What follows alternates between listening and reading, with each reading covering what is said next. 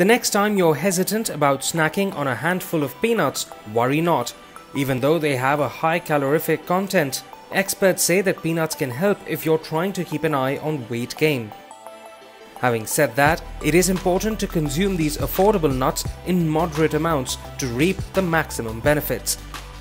Snacking on peanuts can keep you fuller for longer as they contain healthy fats, proteins, and fiber. The body takes longer to digest them, which helps keep your hunger at bay.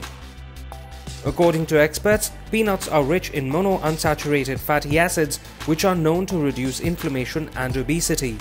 However, it is equally important to ensure that the type of peanuts you're indulging in can actually help you in your weight loss journey. It's advisable to stick to unflavored peanuts that have undergone a minimum amount of processing with no added salt. Say a clear no to candied peanuts as the added sugar could increase your calorie intake unnecessarily. If you're looking for extra fiber, eat the peanuts that come with the cover. No peanut discussion is complete without mentioning the much loved peanut butter. Stick to homemade or natural peanut butter with no added salt or preservatives to keep your consumption healthy.